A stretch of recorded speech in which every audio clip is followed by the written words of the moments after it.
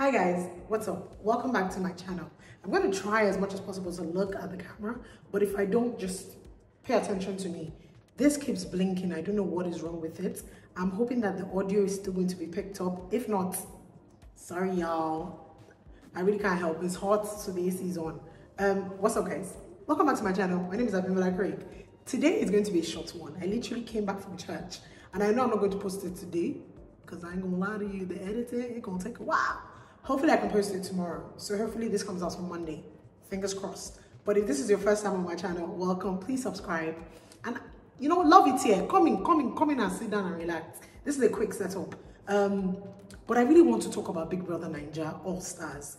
For the longest of time, I have avoided it and I've tried not to, but the inside of me wants to come out. So I've decided I'm going to, and I'm going to try and hopefully touch on certain points that I remember. I have a book here because I always write things down, but I hope I can remember. I did a live on Friday and that was lit because, you know, I do better when I flow freely. So yeah, let's start with this.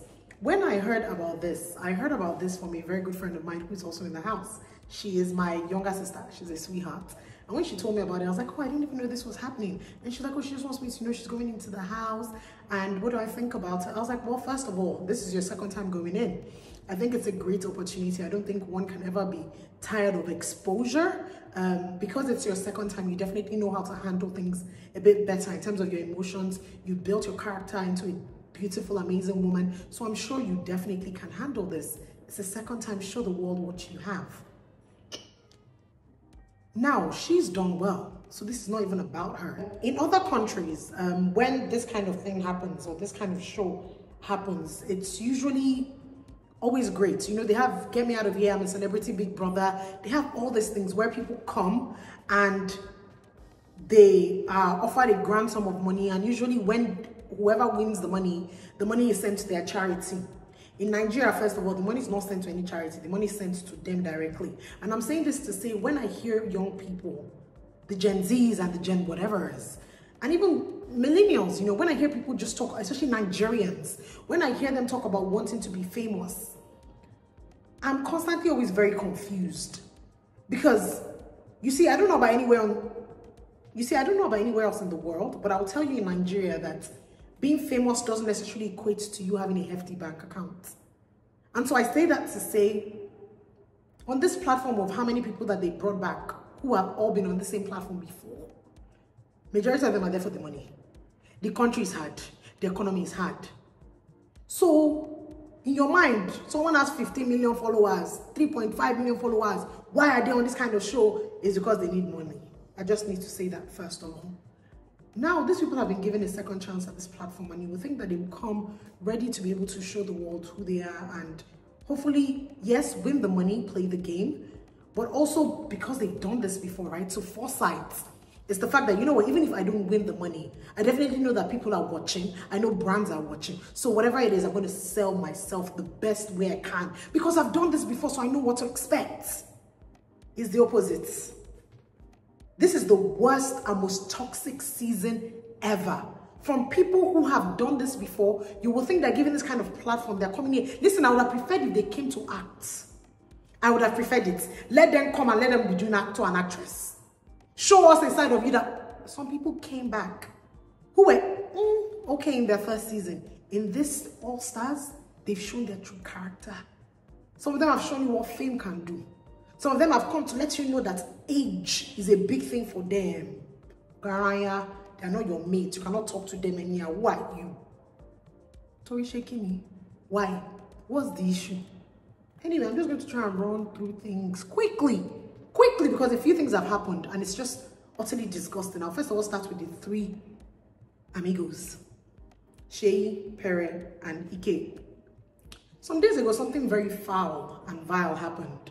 Um, Ike chose to wake up in the middle of the night and trash Baye. Baye is one of the young girls who's there. She's 22. She's the youngest in the house. Pour her clothes, scatter her clothes all over the floor in the bathroom. Why? We don't know. But he chose to do it. In his own disturbed way. His reason was because he wanted the general public to have pity on her and then end up wanting to save her wanting her to win so that that way his ex-girlfriend Mercy doesn't win. Make it make sense. And so he sits down and he tells this other two amigos, Pere and Seyi, and they all are in agreement with it. Let's frustrate this young girl so she gets another third strike and then she's pushed out of the house. Three grown men decide to bully a young girl to the point where they try to make her look silly and try to frustrate her. To what end? You see, there's a lot I want to unpack in this, but I'm going to try and be very, very concise and very precise. I was irritated on so many folds, but there's an angle I want you guys to see that a lot of you might not agree with, but that's fine. I know how many other ladies in that house have been rude to both Pere and Seyi. Seyi has said it countless times before. Don't talk to me, you are rude to me, nobody talk to me. Why did any of them not attack those ladies, but they chose to attack Baye? You see, there's something that Nigerian, I take that back. There's something that some Nigerian men do. Some. Listen, if this shoe is not your shoe, don't wear it. That means don't come into the comment section and start fighting. Just walk up pass. Some Nigerian, and I say this with my chest because I have majority male friends. Not saying my male friends are like this, but I know what I'm saying. Some Nigerian men act, believe. And I say act because that's what it is. If you're a woman that they don't find attractive, that they don't feel like there's anything that you give them, they don't see you as fine, they don't see you as someone that will ever want to date in their lives, they whatever, they constantly would disrespect you. And that's it. And so for me, that's what they did to Baye. Out of all the other babes in the house that has insulted them and have been rude to them, they've never once reacted like this. But this one that they don't rate, they don't send that. Who is she?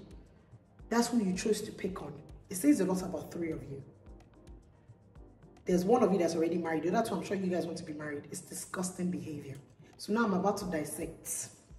Seyi Awolowo is not his first time in the house. When Seyi was in the house first season, he was loud. Is a generally loud person, and I don't think there's anything necessarily wrong with that.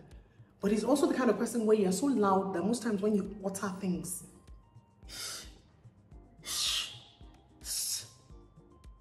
in the last 24 to 48 hours, Seyi has uttered bunch of jargons.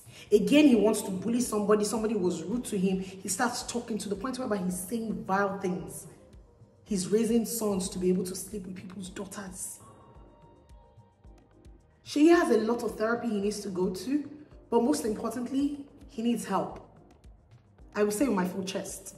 As for Pere, again, no offense to these people, but I just don't see the point to it. Pere is in that house constantly always what? Being vain. But what is he bringing to the table? But every opportunity that you get, you connive, you try to be condescending to people. Yes, you guys, you say it's a game. But people that play the game are tactical about it. I'll give you a clear example. You see what they did to Baye, especially Ike throwing Baye's clothes away. When it was time, Mercy came to come and meet her. Mercy helped her gather the clothes. I was going to help her put it in the laundry. Baye took the clothes inside and trashed it. Now, her trashing it, Doyin said, ah, you are throwing all your underwears away. It means that to the end of this show, you will have no underwear. She said she doesn't care. You know what she did by that point? She pushed Biggie. You know what she did at that point? She pushed Biggie's hand. You see her throwing the clothes away and choosing to go without underwear for the next how many months? Hopefully she's there for that long. How? Why? The whole public will now come and say, Biggie, Biggie, this babe does not have underwear, she doesn't have clothes, and you're okay with it. She forced Biggie's hand, and Biggie had no choice but to what? Take action. Even if he was going to maybe wait till eviction day, by the next day, he had already called, giving everybody strike. That's how you play game. Tactical. You don't necessarily need to go everybody's route or you choose. But when it comes to the point where you have to be so condescending, rude, demeaning, immature, vile to people, nah, man. And I was saying it the other day on my live that you see this behavior of all these different characters in this house is a true representation of why our economy and our country is the way it is. At the, at the core of it all, Nigerians are selfish. Everybody's always willing to, they don't care whatever it is to get ahead of the next man. Because if we took a second and paused and thought about the things that we did sometimes, we'll realize that we don't need to just be able to get ahead. But I digress. Ike is back in this house. From the minute he got in and he saw Mercy, he's been complaining. He doesn't want to see her. They once dated in their own season. They're done. They did. Baba, check out. But since you've stayed in the house, you haven't brought anything to the table. You've caused mayhem. And maybe some people say that's entertainment. But again, I'm coming from what a standpoint of even as a PR person, as a brand representative, as someone who manages talent, utterly disgusting. When it comes to Baye, Baye is a lot. I totally agree. Her first few weeks there, she was loud. She wanted everybody to know. She got into fights constantly. Maybe that was her MO until she got two strikes. When she got two strikes, she realized, ah, ah, ah, ah, ah. At the end of the day, they say there's no, there's no, there's no, there's no work without evidence. If you don't win the money, what you can do? She had to calm down. And she's been calming herself down, but yeah, people have chosen. And I understand that perception sometimes, you know, once that first, first, first introduction to who you are, people run with it. And so she put herself in this situation. People have been isolating her. People have chosen not to get with her. People don't want to interact with her. That's fine. However, when you choose and you resort to bully people, it's disgusting. Every day, I'm not your mate, I'm not your mate, I'm not your mate. Hello, please. The minute all of you sign contract and choose to be on this platform, you are equal. There's no senior, there's no... And Nigerians that always shout this, I'm not your mate, it really upsets me because respect is earned. It's not given. If you act a certain way, people will treat you a certain way. If you move a certain way, people will move according to how you move. Angel, her first season, one thing I respected about her, and I said it, people judge her because of how she dressed and how she looked. That's your business. From her first season to now, if there's anything I will constantly give her for, is her level of self-awareness. You see, you can't fault a person that is already aware of their flaws and their strengths. Angel is so self-aware, so emotionally intelligent. It brings me so much joy when she speaks. Is she quick to be angry? Yes, she is. However, for me, those two things outweigh everything else. She fell for this Soma guy. Soma guy was in last season. Yeah, I didn't understand when they brought him into the house. I honestly don't. Apart from his ship with Angel, I don't know what Soma again will bring into the table. No, no offense. No offense. No offense. Mercy. Mercy, Mercy, Mercy, Mercy. Mercy Lamborghini Mercy. Honestly speaking, if there's one thing I've always appreciated about that girl, it's her competitive spirits. Mercy is always ready to win. She never comes to not win. She's willing to do whatever it takes. So since she's been in the house, she's first of all a queen. Every guy in that house, you can tell they find her attractive. Based off of that, first of all, she knows how to use what she has. And I'm not saying in a bad way. All she needs to do is walk past hi, they will smile, they will rub her feet, they would. But when it comes to the games, Mercy is competitive. And so she stayed that way. She's tried very, very, very intentionally to stay out of trouble. You see, that's someone that's also understood the fact that you see, the first time I came on this platform, I was nobody. By the time I left this platform, I was able to build myself to become somebody. And when I mean nobody, I'm not trying to say she wasn't calm down. I'm talking about in terms of branding. And so now, as coming back into the house, she's definitely a big brand name. She has endorsements. And so she understands that and so she's making sure that she's staying afloat. Whitemoney. I don't understand. Whitemoney, I think, since the entire season that he's been here, the entire time he's been here, I think this party was the first time he ever gave any vibes because he danced. Apart from that, I really don't understand what Whitemoney is doing in the house. He serves as a voice of reasoning to certain characters, Angel and a few other people. But apart from that, honestly speaking, he's not really bringing anything else. Um, I guess he was one of those people that saw the opportunity again to be able to come back. I feel like he came back too soon. I feel like they could have picked somebody else, but Frodd. I'm going to read what I wrote here because I need to. Frodd. He's too handsy for me. I don't like it. I don't see what he does for the house or the game, but his need to always get sexual with the ladies as a married man makes me very uncomfortable. And so that is me and Frodd. Any excuse or any opportunity to touch Mercy's bum to touch Angel's thigh, to touch anybody's back, to go a bit on the lower back. Frodd seems to just enjoy it. The other time, his entire social media handler chose to put out a statement that as a married man, Kinikiniko is an entertainer, you made an excuse for something that was so flimsy and so outrightly wrong and uncomfortable to a bunch of people. And then the next time again, he did the same thing. It just, for me, it's very off-putting. I don't, yeah. Mm. Doing Doyin is pretty. I find it very interesting when she got into a fight with Venita, that Venita chose to call her old, Venita chose to call her ugly, chose to talk about the fact that all she does this entire season is always being makeup. I think Doyin understood that. Listen, last season, she sees this platform as a second opportunity to want to showcase herself and show her beauty. It's her business, but with or without makeup, she's gorgeous. I just needed to say that. Doyin too likes trouble, for sure. Doyin likes trouble. But one thing I appreciate about her, and the next character I'm going to talk about, is, which is Alex, is that they don't like unfairness. I remember during her reunion, and how she just kept on talking about Dekunle and a bunch of people, she was very direct. You know, I could tell that she sees people for who they are. And she doesn't like when people cheat people, people are slight people. So even though she might have had issues with Baye and they constantly keep going back and forth, their friendship is a bit interesting to me because, yeah, but anyways, I digress. She doesn't like when people pick on people. Alex. Alex is chilled in the house. Alex has constantly focused on just making sure that she's playing the game. Every time she's in the arena, she's trying to make sure that she wins. She's focusing on that. She's there for purely winning the money, getting the game, putting herself out there. Always entertaining everybody during the party time. She's there. My girl does not rest. Always dancing, giving it to them. However, I see that she avoids conflict a lot. Until recently, when she upset her and she told him off about the Baye thing, Alex is also very soft. So things get to her a lot. I'm really hoping that she gives us a bit more, aside from dancing on Saturday, not drama per se, but a bit more personality because she has a lot of personality. So CeeC and Alex, obviously, if you know them from their season, they never got along. When this season started again, you could tell that there was conflict. You could tell that there was tension between the two of them. However, I'm happy that they've chosen to avoid themselves. It's the best way. There's no need for any boah. They've just chosen to avoid themselves. So that way there's less conflict. CeeC this entire season has been a bit more open, which has made me really, really happy. She's showing more of her personality because genuinely, genuinely, I genuinely think she's a sweet person. However, there's constantly, you know, all of us have that grace in us. When somebody spark it like this, now you spark them, they will ignite. Plus, this season has been very sweet and very calm. This season, Cross has been very sweet and very calm. Um, I think he's shown more of his personality.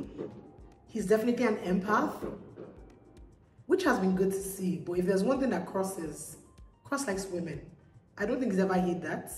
We've seen him kiss Baye, we've seen him flirt with Mercy, we've seen him flirt with CeeC, we've seen him flirt with Uriel. Um, it's been very interesting to see.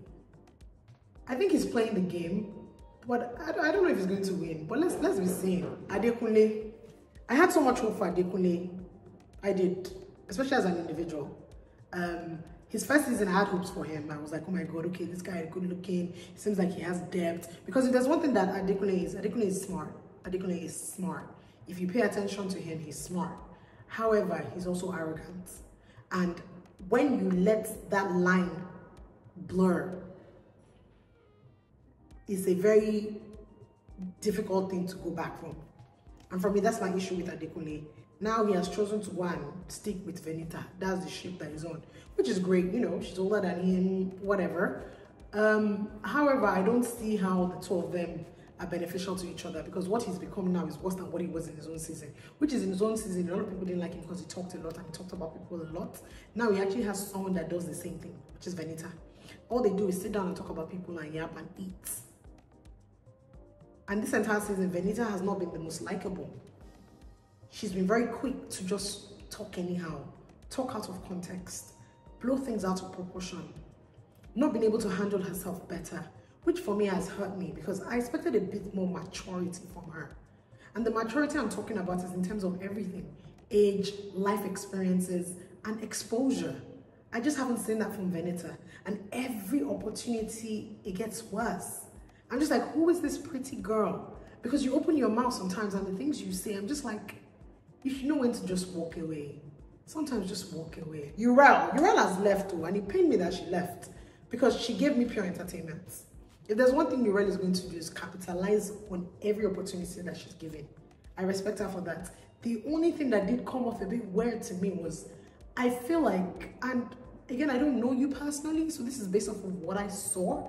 I feel like Uriel is ready to be in a committed relationship with someone that appreciates her um, and I feel like her need and her want for that sometimes can come off as her throwing herself at people. And that's not necessarily a bad thing. There's nothing wrong with going after what you want. But this entire season, I feel like if she just focused more on the game as opposed to the Neos and the other people, I feel like she would have still been there longer. Minus the fact that they brought this whole judge thing and all these judges that they bring, which are former housemates, that eventually end up making the final decision is really just a piss take because she had no business leaving the house. Honestly speaking, that babe was giving us content. So you wrong. Sorry you had to leave early. My worry brother. And I have to say what I wrote here.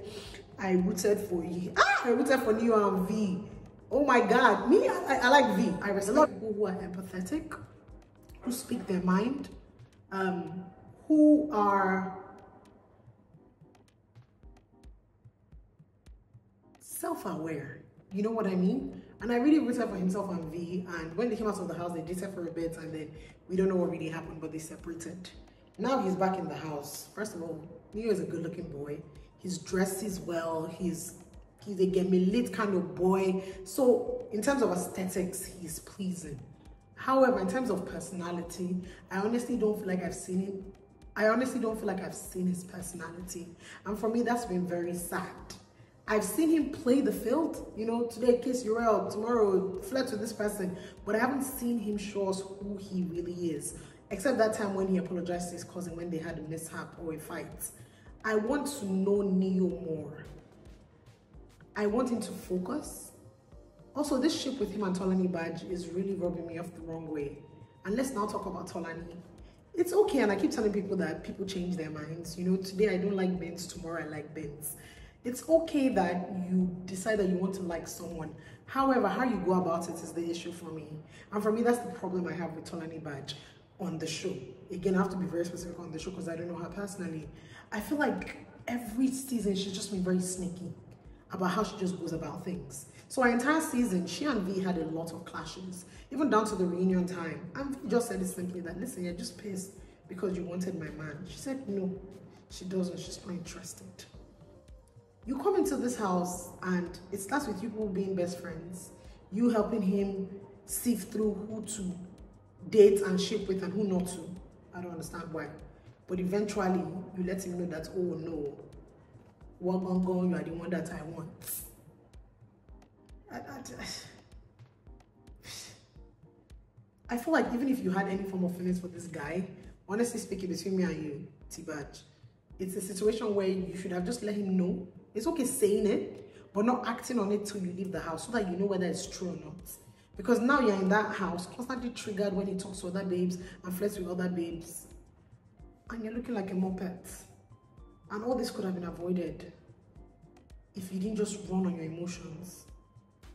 And that's the thing with me and Tiba. Tiba is so emotional.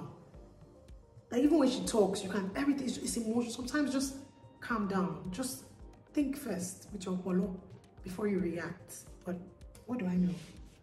I'm just an observer watching the show and sharing my opinion. At the end of the day, this is what I'm going to say. I don't know who's going to win this season. And frankly speaking, I really don't care. Um, I am just very, very, very sad about the fact that a bunch of people were given a second opportunity on a big global platform like this. And some of them just could not act right. Some of them have made you, if before you could stand them, you like them, utterly hate them. Some of them have showed you sides to them that they had no business revealing to the world, that they cannot take back. And that's why when opportunities like this present themselves, you need to think about it very, very well before you go into it. Because as much as these people had done this before, you'd have thought that they'd be, they'd be more strategic about it. But you forget. Every day living, you forget the camera, you just start to react anyhow. And so for me, it saddens me. The level of toxic behavior is very worrying. Um, and I would say again that, you know, moving on because I don't think Big Brother is about to shut down or stop. You know, people have been saying it's want to petition them. They've been petitioning them for years. I don't think it's about to. But I definitely think that even as Nigerians, not just Big Brother, as Nigerians, I think we need to understand the culture of certain shows like this. You know what I mean? If we're doing love and hip hop, and if we're doing even Real Housewives franchise, right? there are certain things that we expect from you, but there needs to be there needs to be a line. And so I'm I'm I'm just saddened that this is definitely not going to help some people grow.